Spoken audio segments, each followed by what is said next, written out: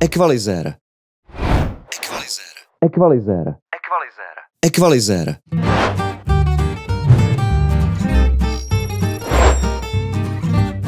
Nejpoužívanější signálový procesor vůbec. Ovlivňuješ jim spektrální složení zvuku a také ho můžeš použít jako efekt. Ahoj zdraví Zazy! Vítej u čtvrtého dílu o zvukové postprodukci. V minulých dílech si viděl, jak připravit svůj zvuk pro mix. Dnes se dozvíš o základním elementu v práci se zvukem, bez kterého se prakticky žádný mix neobejde. Zvládnutí ekvalizace chce trénink. Na začátek ti ale může posloužit několik typů. Ekvalizér pracuje s úrovněmi pásem frekvenčního spektra od 20 Hz do 20 kHz. Tomuto pásmu se říká slyšitelné spektrum nebo taky audiospektrum. V něm člověk vnímá kmity pevných, plynných a kapalných látek. Pro snadnější orientaci rozdělujeme spektrum slyšitelných frekvencí na několik pásem. Hranice těchto pásem nejsou úplně přesně definovány, ale určitě si slyšel pojmy jako basy, nižší středy, středy, vyšší středy a výšky. To, na co právě koukáš, je spektrální analyzér, na kterém vidíš amplitudy jednotlivých frekvencí. Konkrétně tento je od firmy Isotope. Byl totiž chvíli zdarma. Pokud si ho nestihl stáhnout, není moc drahý. Takový analyzér má v sobě spoustu jiných ekvalizérů nebo mobilních aplikací. Při práci se zvukem rozlišujeme mezi tónem a hlukem. Zatímco hluky a šumy jsou neharmonické a nahodilé, Tón je naproti tomu harmonický a pravidelný. Téměř každý zvuk, vytvořený hlasem nebo nástrojem, obsahuje kromě šumové složky také tóny. A tyto komplexní tóny obsahují základní harmonické složky,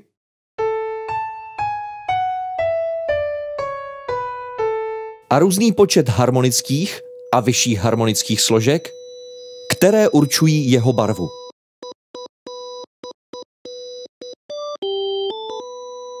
Tyto vlastnosti pak ekvalizérem můžeš ovlivňovat. Například zesílením vyšších harmonických složek získáš blízkost, agresivitu a prezenci.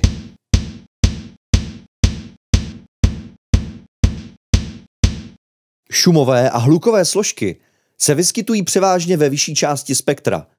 C, š, hř, ch, c, f. C,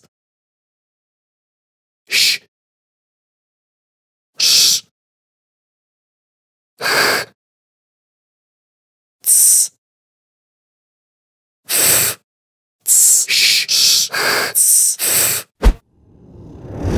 Jejich zesílením docílíš větší srozumitelnosti. Většina zvuků se snímá mikrofonem. Jejich vlastní frekvenční charakteristika a poloha vůči zdroji ovlivňuje frekvenční složení snímaného zvuku.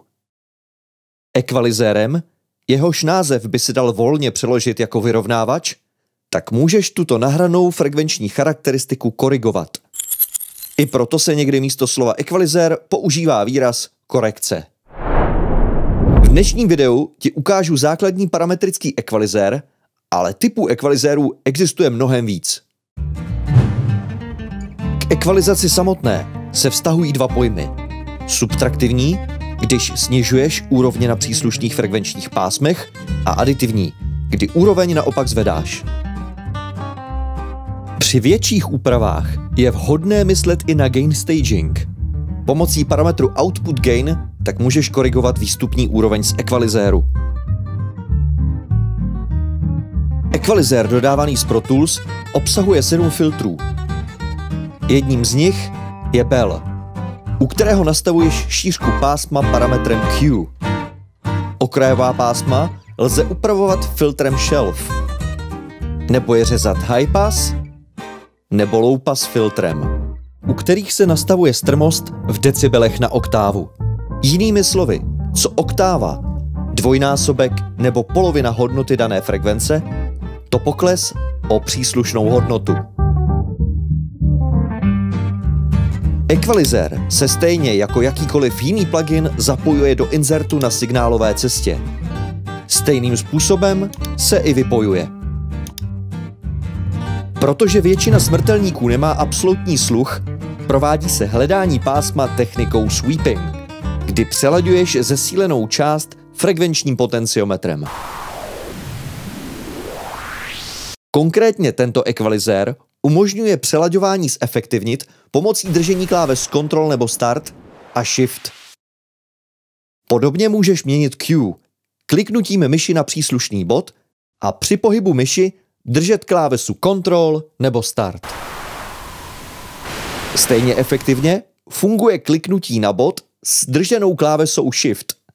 Tím se změní aditivní filtr na subtraktivní a naopak.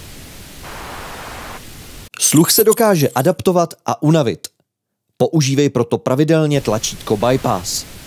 Rychlou alternativou je označení příslušné stopy a stisknutí kláves Shift A. Na dvou příkladech nyní skoriguji barvy dvou hlasů. Mužský je příliš zastřený. Ah, jednou odpoledne jsem studoval v knihovně. A druhý, ženský, zase naopak příliš pichlavý. A jak k tomu vůbec došlo? To tě nalákala na zralý melouny? Ah, jednou odpoledne jsem studoval v knihovně. Ah, jednou odpoledne jsem studoval v knihovně. Byli jsme tam jen my dva. Potřeba pomoct s kartotékou. Ah, jednou odpoledne jsem studoval v knihovně. Byli jsme tam jen my dva. Potřeba pomoct s kartotékou. A pak to šlo ráz na ráz. A kdybyste věděli, Anita byla velmi hodná a jemná. Budíš jí země lehká. Ah, jednou odpoledne jsem studoval v knihovně. Ah, jednou odpoledne jsem studoval v knihovně.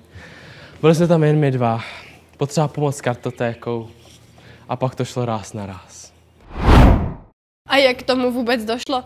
To tě nalákala na zralý melouny? A jak k tomu vůbec došlo? To tě nalákala na zralý melouny?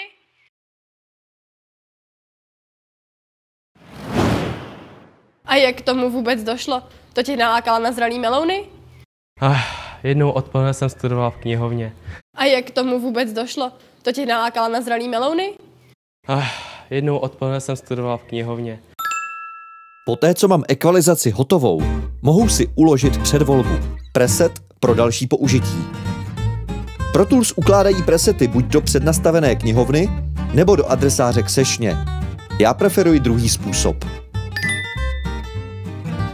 Přeji ti při práci s ekvalizérem bystrou mysl a odpočaté ucho, protože právě zde platí více než kde jinde mé osobní heslo. Záleží na každém decibelu. V příštím videu se zorientuješ v dynamických procesorech, především v kompresoru. Ciao.